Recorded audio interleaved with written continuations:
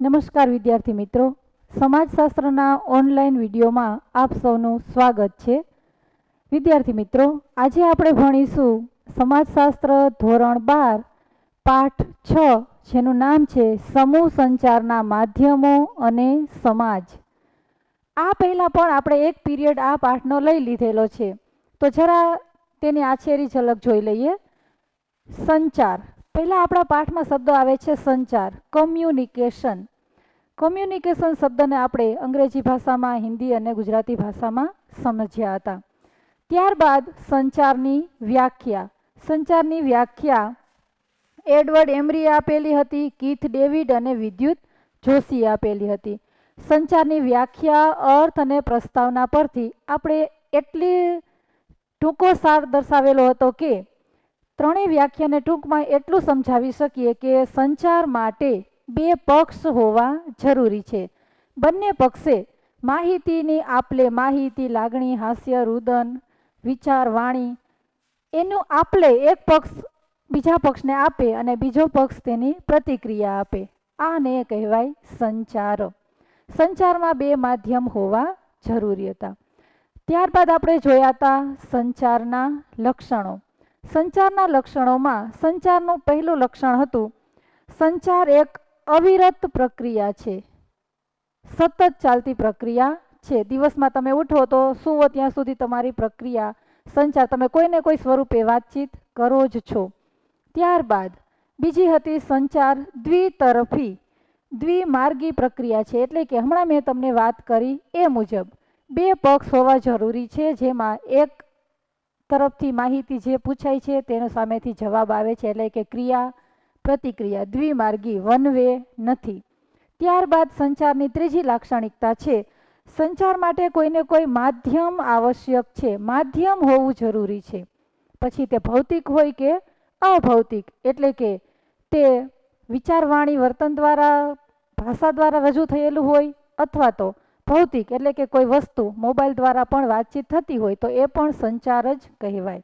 કે ભૌતિક એટલે જેને જોઈ શકીએ, સ્પર્શી શકીએ અને અભૌતિક એટલે જેને જોઈ, સ્પર્શી શકીએ નહીં. ત્યારબાદ ચોથી લાક્ષણિકતા, સમૂહ એક પ્રાકૃતિક ગુણ છે, જન્મજાત, નેચરલ. જન્મની સાથે જ આ પ્રક્રિયા શરૂ થાય છે અને મૃત્યુ સુધી આ પ્રક્રિયા ચાલુ રહે છે.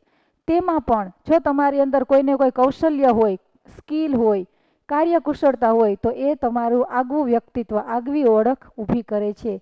એટલે એ સંચાર માધ્યમથી અન્ય લોકો સુધી એ કળા પહોંચે છે. ત્યારબાદ સંચાર એક સામાજિક પ્રક્રિયા છે. સંચાર સામાજિક પ્રક્રિયા એ રીતે છે કે સંચારમાં જે જે હાવભાવ દર્શાવેલા હોય એ સમાજે સ્વીકારેલા એના અર્થ સમાજ દ્વારા સ્વીકૃત હોવા જોઈએ. જેમ કે તમે બે હાથ જોડો એટલે નમસ્કાર કર્યા, માથું નમાવો એટલે ત્યારબાદ જય શ્રી કૃષ્ણ બોલ્યા, આમ આમ હાથ કર્યો તો આવજોની નિશાની, આમ આમ કરો તો અહીંયા આવોની નિશાની. એ રીતે, એટલે સમાજે સ્વીકારેલો અર્થ હોવો જોઈએ. ત્યારબાદ સંચાર વિજ્ઞાન અને કળા છે. સંચારની સાથે જો વિજ્ઞાન જોડાઈ જાય અને વિજ્ઞાન દ્વારા જો વિજ્ઞાન અને ટેકનોલોજીનો ઉપયોગ કરી અને સંચાર કરવામાં આવે તો સોનામાં સુગંધ ભળે. દાખલા તરીકે પાવર પોઈન્ટ પ્રેઝન્ટેશન જે અત્યારે આપણે બંને કરી રહ્યા છીએ, કે હું તમને અહીંયાથી ભણાવી રહી છું અને તમે ત્યાં ભણી રહ્યા છો, એ પણ વિજ્ઞાન અને ટેકનોલોજી દ્વારા થતો સમૂહ સંચાર માધ્યમ જ છે. આ હતા સંચારના લક્ષણો. અને ત્યારબાદ સંચારના બે વૈજ્ઞાનિકોએ દર્શાવેલા ઓસગુડ અને વિલ્બર શ્રેમનું એક મોડલ આપણે સમજ્યા, અને ત્યારબાદ ડેવિડ બર્ગોનું એસએમસીઆરનું મોડલ પણ સમજ્યા. હવે આજે આપણા આજના પીરિયડમાં જે સમજવાનું છે, તેનું નામ છે સમૂહ માધ્યમ, સમૂહ સંચાર માધ્યમના પ્રકાર. અર્થ, વ્યાખ્યા, લક્ષણો સમજ્યા બાદ આજે આપણે સમજીશું સંચાર માધ્યમના પ્રકાર. સંચાર માધ્યમના બે પ્રકાર છે. પારસ્પરિક સંચાર, સમૂહ સંચાર. સમૂહ સંચારના પણ અહીંયા તમે સામે જુઓ જ છો આકૃતિમાં.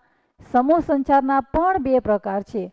પરંપરાગત સંચાર, આધુનિક માધ્યમો. પરંપરાગત માધ્યમો અને આધુનિક માધ્યમોમાં, આધુનિક માધ્યમોના પણ પાછા બે પેટા પ્રકાર પડે છે. એક છે મુદ્રિત માધ્યમો અને બીજો વીજાણુ માધ્યમો, એટલે કે ઇલેક્ટ્રિક માધ્યમો. આ દરેક માહિતી આ જે તમે અહીંયા આકૃતિમાં જોઈ રહ્યા છો તે, એના વિશે અત્યારે હવે આપણે આ પીરિયડમાં વિસ્તૃત ચર્ચા કરવાની છે. તો સૌ પ્રથમ જોઈએ આપણે સંચાર માધ્યમના પ્રકારમાં. જુઓ તમે આકૃતિમાં કે સંચાર માધ્યમના બે પ્રકાર મુખ્ય છે, પારસ્પરિક સંચાર અને સમૂહ સંચાર.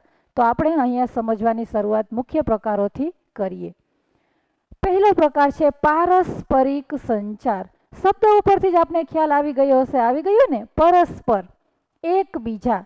એક પક્ષ બીજો પક્ષ. એક પક્ષ પૂછે, બીજો પક્ષ જવાબ આપે, હાવભાવ દ્વારા વાણી, વિચાર, વર્તન દ્વારા, હાસ્ય દ્વારા.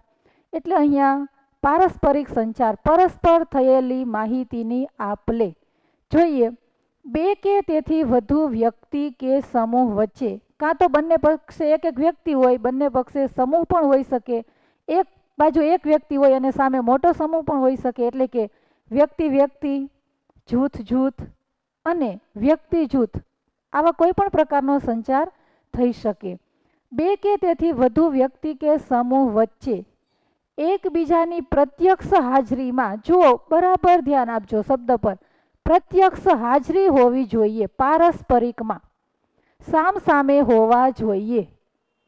પ્રત્યક્ષ હાજરીમાં કોઈ વાતચીત કરે સામ સામે હસે, એટલે કે હાસ્ય, કે કોઈ હાવભાવ વ્યક્ત કરે, હાવભાવ દ્વારા વાતચીત કરે, હસે, સામે સ્માઇલ કરે, સ્મિત આપે અથવા તો પ્રેમથી કોઈ વાત કરે, લાગણી, માહિતી, વિચાર આ બધી જ્યારે વસ્તુ એક પક્ષમાંથી બીજા પક્ષ તરફ જાય છે અને એકબીજા ઉપર અસર ઉપજાવે, ફક્ત વનવે નહીં, અહીંયાથી જે વાતચીત થઈ તેની સામે અસર પણ થવી જોઈએ અને સામે ક્રિયાની પ્રતિક્રિયા પણ આવે. તો એને કહેવાય પારસ્પરિક સંચાર. એટલે પારસ્પરિક સંચારને એક વાક્ય, એક શબ્દ એમાં ખાસ ધ્યાન રાખવાનો પ્રત્યક્ષ હાજરી હોવી જરૂરી છે. સામસામેની રૂબરૂ પ્રત્યક્ષ હાજરી. બે કે તેથી વધુ વ્યક્તિઓ હોવી જરૂરી છે, બે કે તેથી વધુ સમૂહ હોવા જરૂરી છે અને દરેકની પ્રત્યક્ષ હાજરી સામસામે રૂબરૂ હોવી જરૂરી છે. આ હતો પારસ્પરિક સંચાર.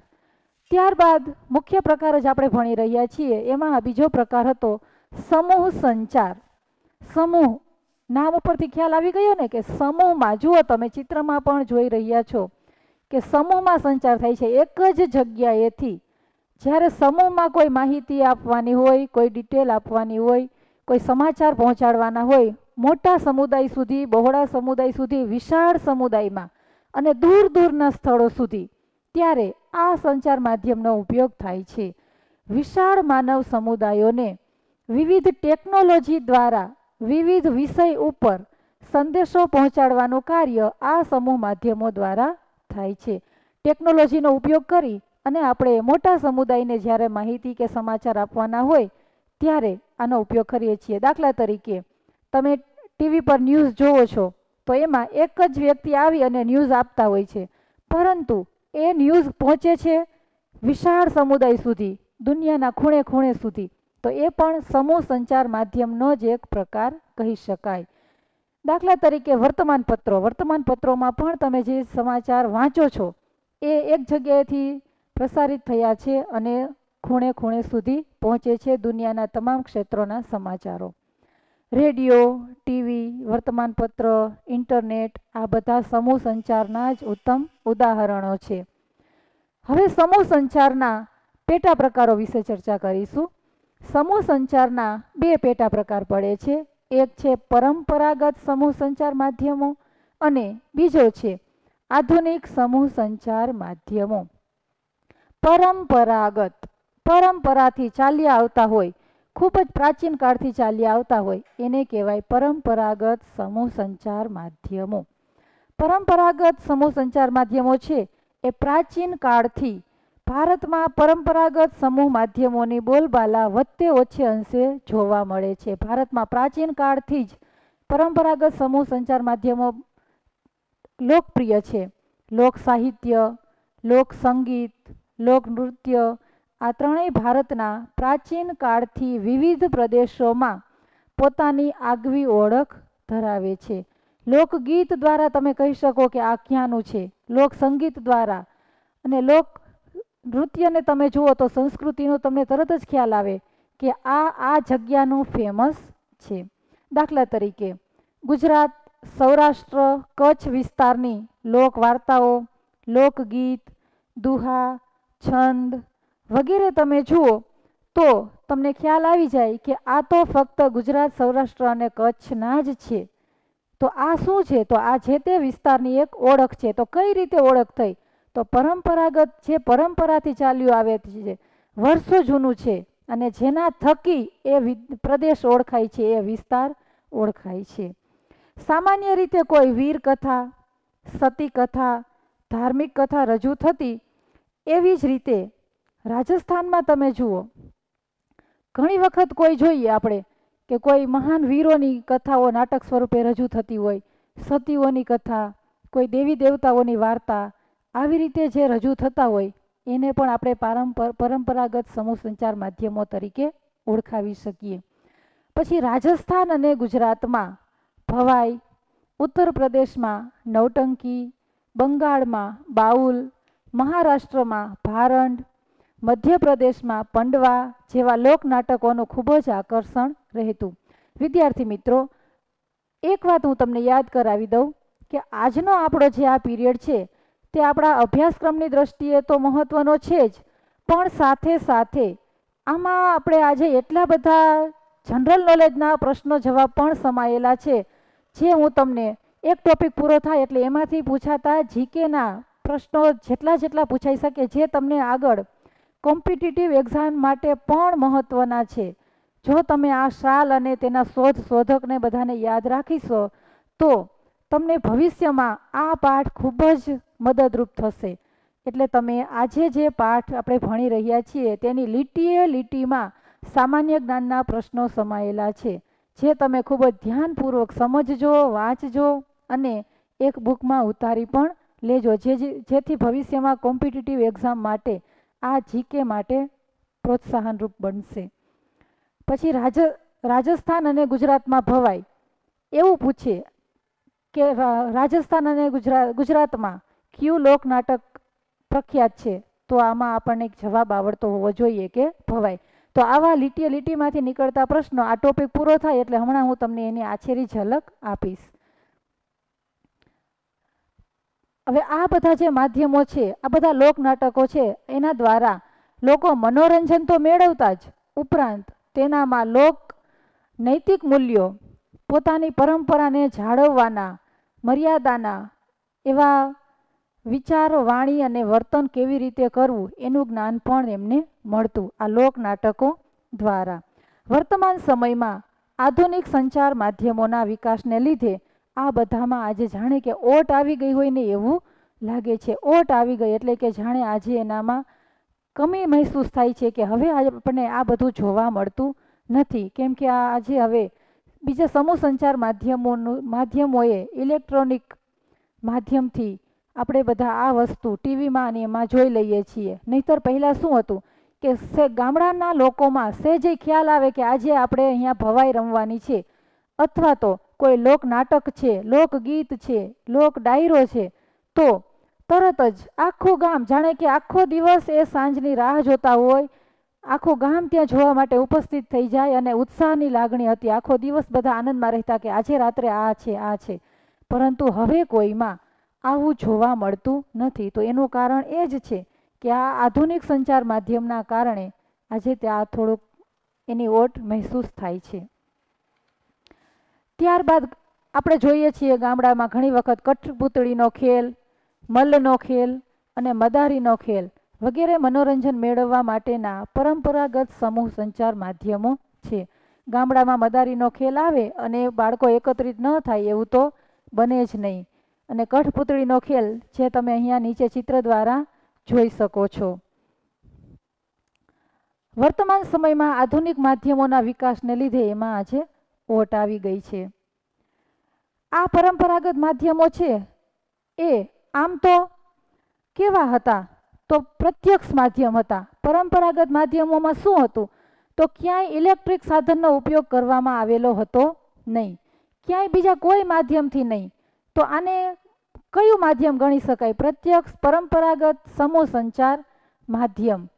કેમ કે તેમાં બીજા કોઈ સાધનોનો ઉપયોગ થયેલો નથી. બંને પક્ષની રૂબરૂની હાજરી છે, એક ભજવે છે, બીજું સામે પ્રતિક્રિયા આપે છે. અને કોઈને કોઈ સંદેશો પણ પહોંચાડે છે માધ્યમ દ્વારા, નાટક દ્વારા. એટલે આને આપણે શું કહી શકીએ? તો પ્રત્યક્ષ માધ્યમ હોવું જરૂરી હોવાથી. તેમાં યંત્ર વિજ્ઞાન અને ટેકનોલોજી હતી નહીં. ક્યાંય તમને ટેકનોલોજીનો કે યંત્રોનો ઉપયોગ થયેલો જોવા મળતો હતો નહીં.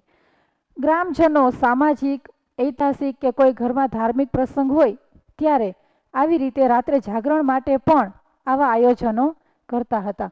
અને એમાં રજૂ કરવા માટે જેને મંડળીને બોલાવતા, જે મંડળને બોલાવતા એ પણ કોઈ ધાર્મિક પ્રસંગને અથવા તો કોઈ સામાજિક બાબતને લઈ અને સરસ મજાનું નાટક રજૂ કરતા, જેથી લોકોમાં સારો એવો સંદેશ પહોંચે અને લોકો આ સંદેશનો ઉપયોગ કરી અને પોતાના જીવનમાં કંઈક બદલાવ લાવી શકે.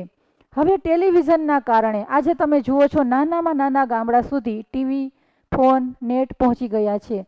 એટલે આ બધા ઇલેક્ટ્રિક સાધનોનો ઉપયોગ થવાથી આધુનિક માધ્યમોથી આજે મોટે ભાગે આ બધા જે આપણા પરંપરાગત માધ્યમો છે, એ અસ્ત પામી રહ્યા હોય એવું લાગે છે. આજે કોઈને ખ્યાલ આવે કે આજે ગામડામાં આ રમત રમાવાની છે, તો એને બહુ જોવાનો ઉત્સાહ જોવા મળતો નથી અને રમવાનું પણ પ્રમાણ આજે ઓછું થતું જાય છે.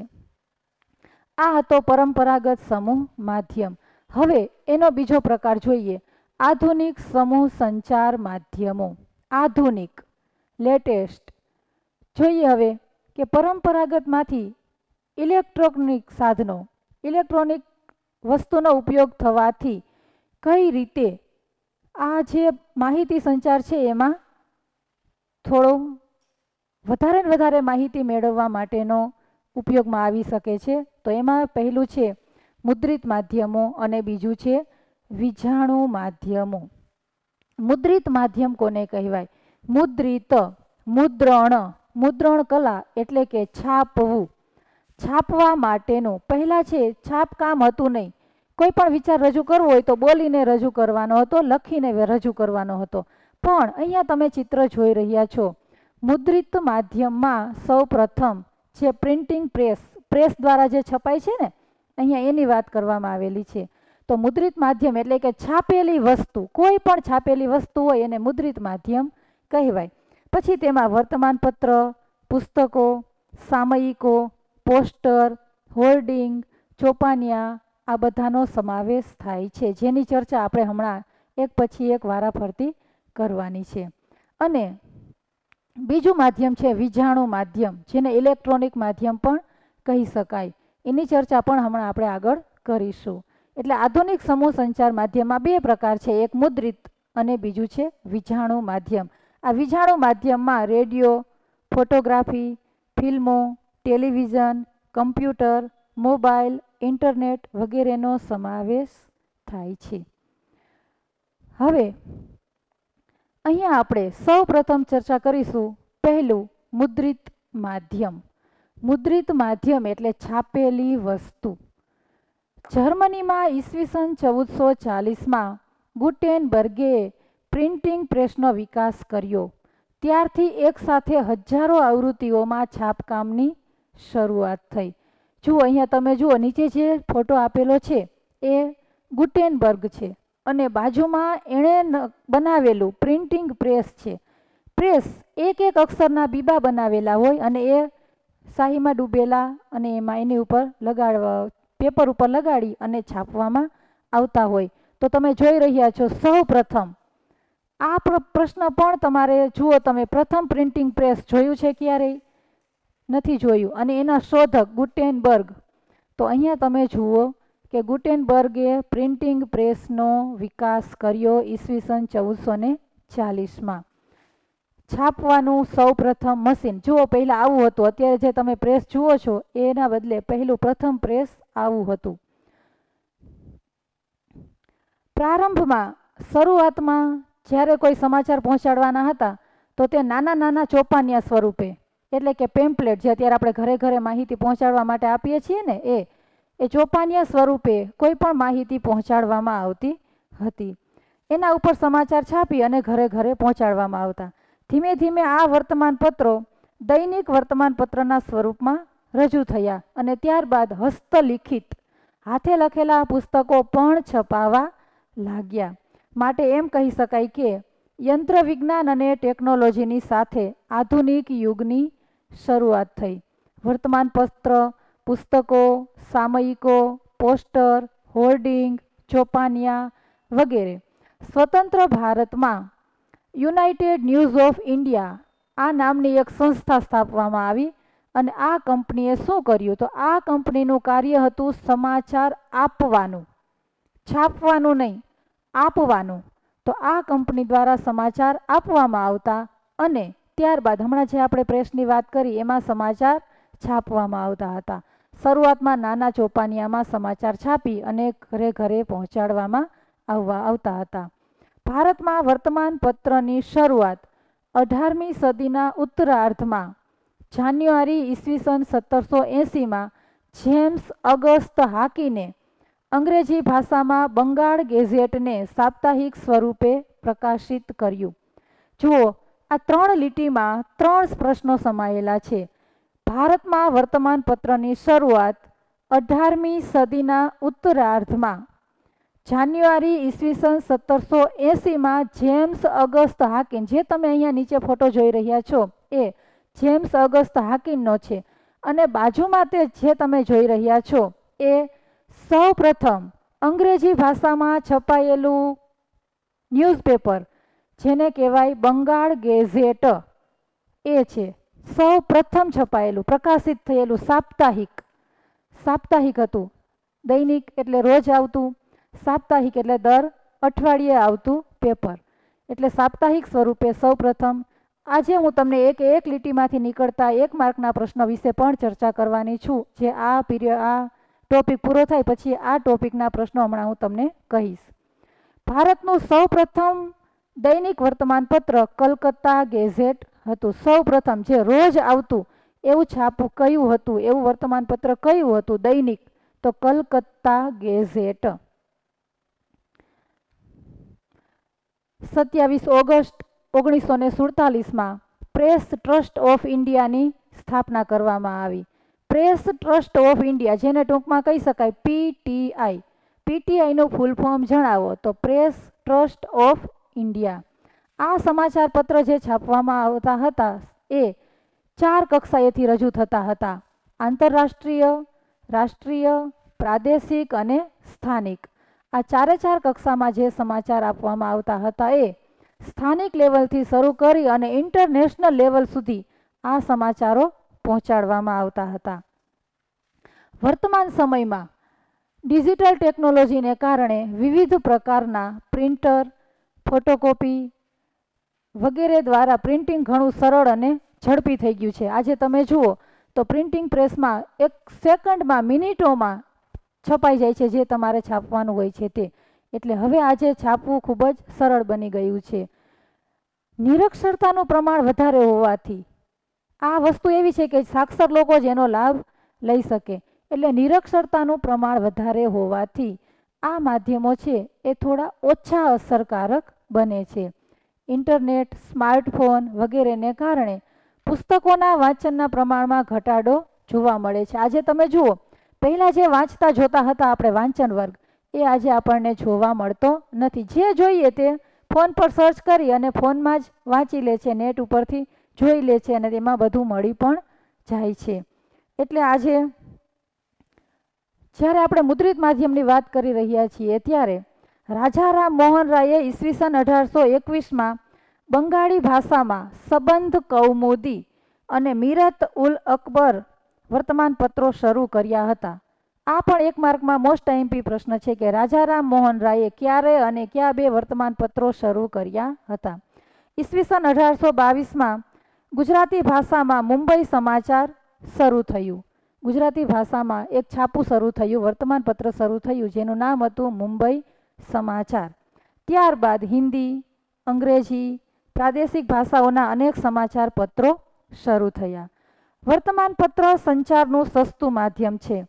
તેની મહત્વની ભૂમિકા એ છે કે તે જ્યારે અનુકૂળતા હોય ત્યારે વાંચી શકાય છે. એટલે કે અનુકૂળ સમયે તમે સવારે ટાઈમ ન હોય, બપોરે ફ્રી થાવ તો ત્યારે પણ તે વાંચી શકાય છે. જ્યારે ટીવીમાં આવતા સમાચાર જ્યારે આવતા હોય ત્યારે જ આવે. આપણી અનુકૂળતા મુજબ આવતા નથી. મુદ્રિત માધ્યમોમાં પાઠ્યપુસ્તકો, ધાર્મિક ગ્રંથો, નવલકથાઓ, કાવ્યો, નાટકો વગેરે મહત્ત્વની ભૂમિકા ભજવે છે. વર્તમાનમાં કમ્પ્યુટર સાથે જોડાયેલા ડિજિટલ ટેકનોલોજીના કારણે આજે આપણે જોઈ રહ્યા છીએ કે બીબા પ્રિન્ટિંગ પ્રેસનો અંત આવી ગયો છે. હવે તમને એવા ક્યાંય પ્રેસ જોવા મળતા નથી કે જેમાં બીબા અક્ષરોના બીબા તૈયાર કરેલા હોય અને પ્રેસ કરવામાં આવતા હોય અને વર્તમાનપત્ર છાપવામાં આવતું હોય. એનો જાણે કે હવે અંત આવી ગયો છે, એ અસ્ત થઈ ગયા છે. ડિજિટલ ટેકનોલોજીના કારણે વિવિધ પ્રકારના પ્રિન્ટ, પ્રિન્ટર, ફોટોકોપી મશીન વગેરે દ્વારા પ્રિન્ટિંગ ઘણું સરળ અને ઝડપી થઈ ગયું છે. ટેલિવિઝન, કમ્પ્યુટર, ઇન્ટરનેટ, સ્માર્ટફોન વગેરેના કારણે વર્તમાનપત્રો અને અન્ય પુસ્તકોના વાંચનમાં આજે જાણે કે ઘણી બધી ઓટ આવી ગઈ હોય, ખોટ પડી ગઈ હોય, વાંચનનો શોખ ઓછો થઈ જતો હોય એવું લાગે છે. તો આ હતું આપણું આજનું પ્રથમ માધ્યમ, જે હતું મુદ્રિત માધ્યમ. હવે મુદ્રિત માધ્યમમાંથી એક એક માર્કના કયા કયા પ્રશ્ન જવાબ પૂછાઈ શકે તેની ચર્ચા કરીએ. તો પ્રિન્ટિંગ પ્રેસની શોધ કોણે અને ક્યારે કરી? ભારતમાં વર્તમાન પત્રની શરૂઆત ક્યારે અને કોણે કરી? કઈ ભાષામાં કરી? સાપ્તાહિક, પ્રથમ સાપ્તાહિક કયું? ભારતનું સૌપ્રથમ દૈનિક વર્તમાનપત્ર કયું હતું? સ્વતંત્ર ભારતમાં સૌપ્રથમ સમાચાર આપતી કંપની કઈ? પીટીઆઈનું ફૂલ ફોર્મ જણાવો અને પીટીઆઈની સ્થાપના ક્યારે થઈ? આટલા પ્રકારના પ્રશ્નો તમારે એક માર્કમાં પૂછાઈ શકે તેવા પ્રશ્નો છે ને આગળ કોમ્પિટિટિવ એક્ઝામ માટે પણ પૂછાઈ શકે તેવા છે. ત્યારબાદ હવે જોઈએ. બીજું, વિજાણુ માધ્યમ. ઇલેક્ટ્રોનિક, વિજાણુ માધ્યમ એટલે ઇલેક્ટ્રોનિક માધ્યમ. ઇલેક્ટ્રોનિક માધ્યમને આપણે વિજાણુ માધ્યમ તરીકે ઓળખીએ છીએ, જેમાં radio, photography, film, television, computer, mobile, smartphone વગેરેનો સમાવેશ થાય છે. વીજાણુ માધ્યમમાં ઇલેક્ટ્રિક માધ્યમમાં સૌપ્રથમ માધ્યમ છે રેડિયો. રેડિયોની શોધ ઓગણીસો એકવીસમાં ઇટાલીના વૈજ્ઞાનિક માર્કોનીએ કરી હતી. જુઓ નીચે જોઈ રહ્યા છો તમે, રેડિયો પણ આપેલો છે અને એના શોધક ઇટાલીના માર્કોની. એનો પણ ફોટો તમે અહીંયા જોઈ રહ્યા છો. આકાશવાણીનું સૌપ્રથમ કેન્દ્ર ઇંગ્લેન્ડમાં સ્થપાયું. ભારતમાં રેડિયો પ્રસારણનો પ્રારંભ ઓગણીસો ને ત્રેવીસમાં ખાનગી સ્વરૂપે મુંબઈમાં ક્લબ રેડિયો સ્વરૂપે થયો. નીચે જે તમે ચિત્ર જોઈ રહ્યા છો એ છે ઓગણીસો ને ત્રેવીસમાં સ્થપાયેલું બોમ્બેનું ક્લબ રેડિયો. ઈસવીસન ઓગણીસો સત્યાવીસમાં રેડિયોનો પ્રારંભ મુંબઈ અને કલકત્તામાં બે સરકારી ટ્રાન્સમીટરની સ્થાપના દ્વારા થયો. ઈસવીસન ઓગણીસો ત્રીસમાં આ રેડિયો સ્ટેશનનું સંચાલન અને નિયંત્રણ સરકાર દ્વારા કરવામાં આવ્યું અને તેનું ભારતીય પ્રસાર સેવા નામ આપ્યું. ઈસવીસન ઓગણીસો છત્રીસમાં આ નામ બદલીને ઓલ ઇન્ડિયા રેડિયો રાખવામાં આવ્યું. ઈસવીસન ઓગણીસો સત્તાવનથી ભારતમાં તે આકાશવાણી તરીકે જાણીતું છે. તેનું ભારતના સૂચના અને પ્રસારણ મંત્રાલય દ્વારા સંચાલન કરવામાં આવે છે. જે ઓગણીસો ને છત્રીસમાં ઓલ ઇન્ડિયા રેડિયો નામ હતું, એ બદલી અને સત્તાવનમાં શું રાખવામાં આવ્યું? આકાશવાણી. આ બધા તેના સ્ટેશનના નામ છે. અંદર આવતા સ્ટેશનના, ચેનલના નામ. અને તેનું સંચાલન કોણ કરી રહ્યા હતા? તો ભારતના સૂચના અને પ્રસારણ મંત્રાલય. વર્તમાન ભારતમાં કુલ એકસો સત્યાસી રેડિયો સ્ટેશન અને એકસો એંસી રેડિયો ટ્રાન્સમીટર્સ. દેશનો કુલ ત્યાંસી ટકા વિસ્તાર અને છન્નું ટકા વસ્તીને આવરી લે છે. રેડિયા માટે આપણે એમ કહી શકીએ કે આકાશવાણીના કાર્યક્રમોમાં નવલકથાઓ અને ટૂંકી વાર્તાઓ પર આધારિત નાટકોનું પ્રસારણ કરવામાં આવતું હતું. આ ઉપરાંત વિભિન્ન સમાજમાં જે દૂષણો ચાલી રહ્યા હતા, દહેજ પ્રથા કુરિવાજો પડદા પ્રથા બાળ લગ્ન એને લગતા નાટકો પણ રેડિયો પર ભજવવામાં આવે છે. આકાશવાણી પરથી પ્રસારિત થતા સમાચારો પણ ઘણી અગત્યતા ધરાવે છે. હિન્દી, અંગ્રેજી અને પ્રાદેશિક ભાષામાં પ્રસારિત થતા સમાચારો રાષ્ટ્રીય, આંતરરાષ્ટ્રીય, પ્રાદેશિક, સ્થાનિક લેવલેથી રજૂ થતા હતા. આકાશવાણીના દરેક સ્ટેશન પરથી ગ્રામીણ કાર્યક્રમો અને કુટુંબ કાર્યક્રમોનું પ્રસારણ થાય છે. આ ઉપરાંત પ્રૌઢ શિક્ષણ, ગ્રામીણ વિકાસમાં પંચાયતોની ભૂમિકા, ગ્રામીણ મહિલા અને બાળકોને લગતા કાર્યક્રમો, માતા અને બાળ સંભાળ, પર્યાવરણ સુરક્ષા, કુટુંબ કલ્યાણ વગેરેને લગતા કાર્યક્રમો પણ પ્રસારિત કરવામાં આવે છે. જેથી ગામડાના લોકો આ પ્રસારણ પ્રત્યે જાગૃત થાય, પોતાની વિવિધ સમસ્યાનો હલ મેળવી શકે અને માહિતી પણ મેળવી શકે. દેશ વિદેશમાં રમતી રમાતી રાષ્ટ્રીય અને આંતરરાષ્ટ્રીય રમતો તથા સ્પર્ધાઓને લગતા કાર્યક્રમો પણ તેમાંથી પ્રસારિત કરવામાં આવે છે રેડિયો દ્વારા. આકાશવાણી સામૂહિક પ્રસારણ માટેનું વિશાળ માધ્યમ છે. તે વસ્તીના મોટા ભાગ સુધી એક જ સમયે ઓછા ખર્ચે અને પ્રભાવી રૂપથી પહોંચી શકે છે. ગામડાનો જે અંતરિયાળ વિસ્તાર હોય, દુર્ગમ અને અંતરિયાળ, ત્યાં રેડિયો ખૂબ જ અસરકારક માધ્યમ બને છે. જ્યાં વાહન વ્યવહાર અને સંદેશા વ્યવહારની સુવિધાઓ મર્યાદિત છે, ત્યાં રેડિયો પહોંચી શકે છે.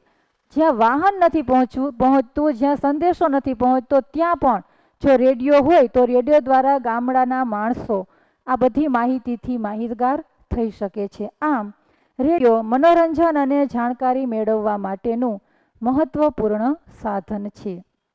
રેડિયોમાંથી જે એક એક માર્કના પ્રશ્નો મહત્વના છે. એ આપણે જરા ચર્ચા કરી લઈએ. તો રેડિયોની શોધ કોણે અને ક્યારે કરી? આકાશવાણીનું સૌપ્રથમ કેન્દ્ર ક્યાં સ્થપાયું? ક્લબ રેડિયોની શરૂઆત ક્યારે અને ક્યાં થઈ? આકાશવાણીનું સંચાલન કોના દ્વારા કરવામાં આવે છે? જેમ હમણાં આપણે ચર્ચા કરી તેમ સૂચના અને પ્રસારણ મંત્રાલય દ્વારા. ભારતમાં કુલ કેટલા રેડિયો સ્ટેશન છે અને કેટલા રેડિયો ટ્રાન્સમીટર છે? અને તે દેશનો કેટલા ટકા વિસ્તાર આવરે છે અને કેટલા ટકા વસ્તીને આવરે છે. તો આ હતી રેડિયોની ચર્ચા. રેડિયોના માધ્યમથી ગામડાના લોકો દરેક માહિતીથી માહિતગાર બની શકે છે. આમ ગામડામાં રેડિયો છે એ અસરકારક માધ્યમ છે. તો વિદ્યાર્થી મિત્રો, આજે આપણે સમજ્યા મુદ્રિત માધ્યમો અને રેડિયો જે એક ઇલેક્ટ્રિક સાધન નથી અને બીજું છે ઇલેક્ટ્રિક સાધન છે તો અહીંયા આપણે આજે જે આ પીરિયડમાં જે સમજ્યા, તેની ચર્ચા તમે, આપણે જે ચર્ચા કરી તે તમને બરાબર સમજાઈ ગયું હશે તેવી આશા રાખું છું. Thank you